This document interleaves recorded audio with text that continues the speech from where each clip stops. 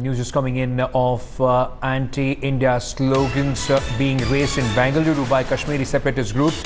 Amnesty International had invited people to interact with the families from uh, Kashmir. During this interaction, there was an argument between Kashmiri Pandits and Kashmiri families uh, over who were the real victims. When Pandit family started praising the role of Indian Army in Kashmir, the discussion turned what has led to anti-India sloganeering by the separatist groups.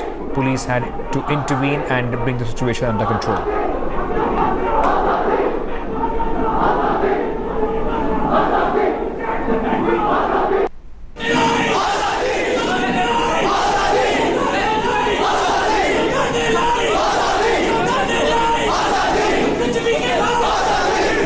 Let me now go across to my colleague uh, Rohini Swami is joining me on the phone line for more on this. Uh, uh, Rohini, uh, what was this uh, occasion and uh, what action has the police taken in this case?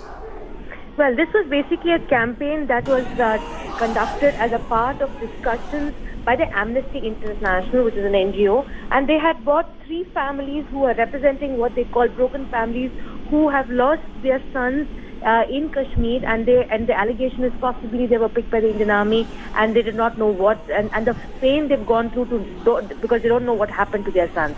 This was basically a dialogue and a conversation that uh, they, this is a part of their campaign they've been holding across the country. It started in Bangalore, and the point was that the two groups one is the families who have lost their sons, and also people from Kashmir and Kashmiri Pandits from Bangalore who are to en- engage in a discussion.